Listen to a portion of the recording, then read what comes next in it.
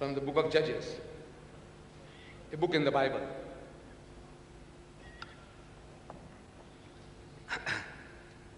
After him, Judges chapter 3, verse 31. After him was Shamgar, the son of Anat, who killed 600 men of the Philistines. One man. He killed 600 of the Palestinians. One man. With an ox goad, ox goad. And he also delivered Israel. Now, this goad, goad, I don't know how many of you know what is a goad. You see, the first time I read about this as a young man, I read it in the book of Acts, Acts, A-C-T-S, Acts, chapter 9, verses 4 and 5, where it says that Paul, while he was on his way to Damascus, he saw a vision of Jesus. Jesus appears to him and he says, Saul, Saul, why persecutest thou me? Why are you harassing me? What are you persecuting me for? Why kickest thyself against the pricks?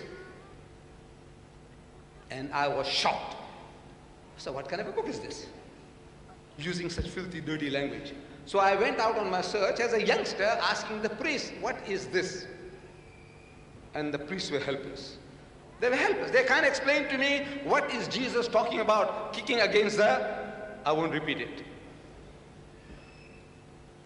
Now, in the Bible that Brother Shorrosh, he presented to me at the Royal Albert Hall, this beautiful Bible here, this is the fifth major revision. This Bible is the fifth major revision. Brother Shorrosh nods his head, it's true. Fifth major revision. I didn't know.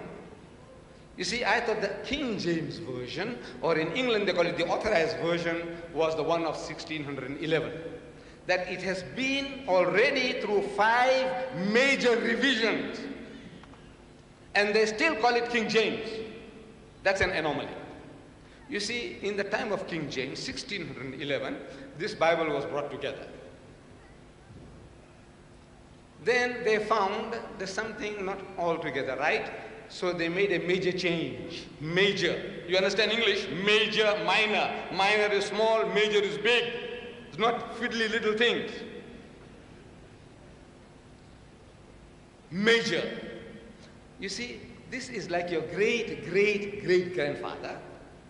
He made his last will and testament. And your great, great grandfather, he made a major change in that will. And your great grandfather made another major change in that will. And your grandfather made another major change in that will. And your father made another major change in that will. And you made another major change in that will.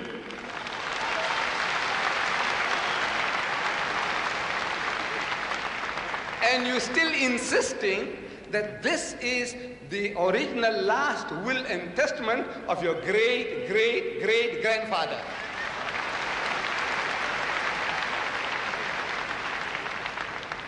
Amazing use of language. Imagine the language that they're using.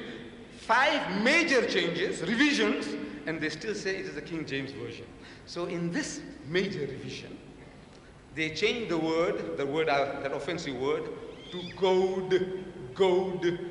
Go and ask the Americans, what is a goad? When you go out, when you meet the Englishman, ask him, what is a goad? And believe me, he won't be able to explain to you what is a goad. So I. Yes, I show you this, this, this, this, this.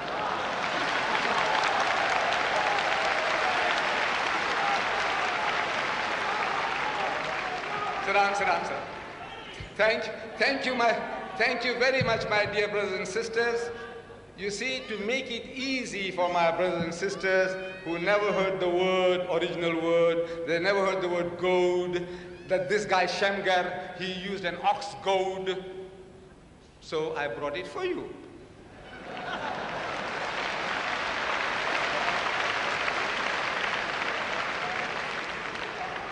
You see, this another word for this is a cattle prodder. They brought cattle to move. ox goad, cattle prodder, spiked stick. There's a little nail here, spiked stick for prodding. You know, with this stick, this Jewish lad, Shamgar, he killed 600 Palestinians with this.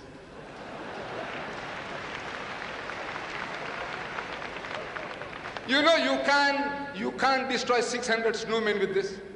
You know that? This thing will break 600, 600. It's a miracle, yes. This is the miracle. It's a miracle. We must accept that you see, this is now is programming people. If one Jewish boy can six, kill 600 Palestinians, what were the Palestinians doing? Look, I said the fools, they couldn't run. They couldn't run for their life. What were they waiting? Where? And where did the fellow strike them with this to kill 600? One, two, three, four.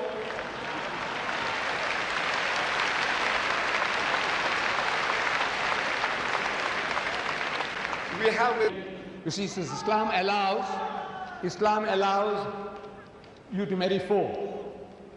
He didn't quote the verse correctly. He was saying Surah Nisa, verse 3, or something to the effect.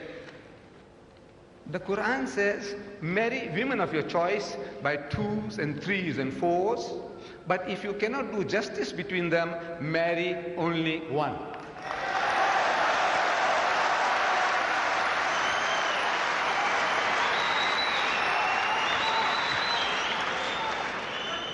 The only religious book, I'm saying the only religious book on the face of the earth, which has this expression, marry only one, is the Quran. There is no other book on earth.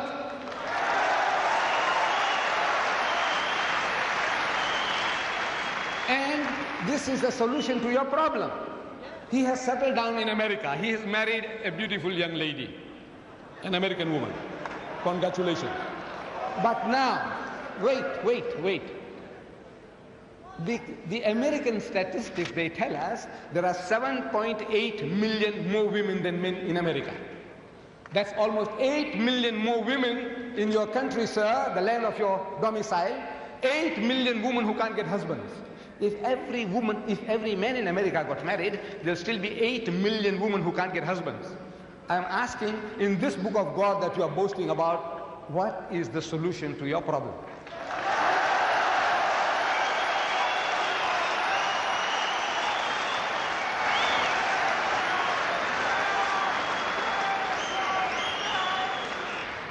Muslims are made to believe on the authority of this holy book, the Quran, that Jesus Christ was one of the mightiest messengers of God. We are made to believe that he was born miraculously. We are made to believe that he was the Christ, the Messiah, the Messiah. We are made to believe that he gave life to the dead by God's permission and he healed those born blind and the lepers by God's permission.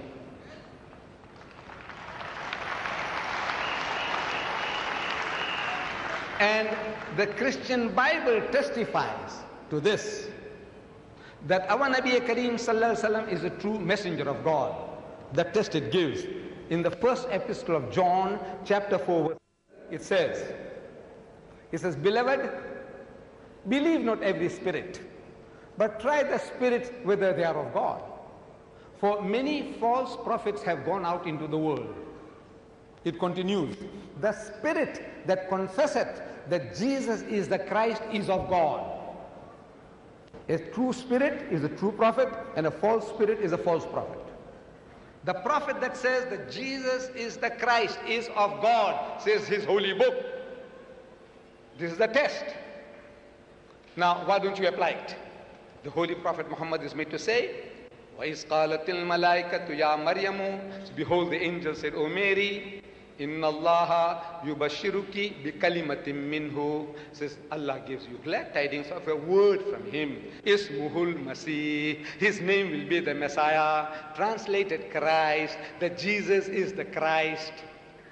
If this is the test, here is the test. Why aren't you reasonable? Why don't you look up your own book and your book gives you the test? Apply to Muhammad. And the book also says, said by the fruits ye shall know them. Do men gather figs from the thistle or grapes from the thorn? He said, Every good tree will be good fruit, and every evil tree will be evil fruit. By the fruits ye shall know them. And You count them on a man to man basis the Muslim and the Christian, the Muslim and the Hindu, the Muslim and anybody else in brotherhood, in piety, in charity, in sobriety. There is not another community that can show a candle to us that we are better than you. We have our shortcomings. We have our black sheep. We have, like any other community, we have the good and the bad. We have our drunkards that might put many a Christian under the table. We have. But as a people as a whole, the biggest society of teetotalers in the world are the Muslims. Biggest society of teetotalers. People who don't imbibe alcohol are the Muslims. We have in my country, I'm boasting and nobody has contradicted me yet, that the Muslims of South Africa, we have the lowest alcoholic consumption. We have the lowest gambling rate. We have the lowest suicide rate. We have the lowest prison rate. We have the lowest divorce rate. And we have the highest charity rate in the country.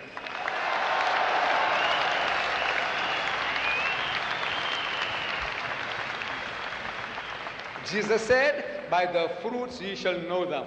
says, judge them by the fruits, not by individuals. This ruler had done certain thing wrong and that guy had done certain thing wrong. I said, why don't you look at your own man?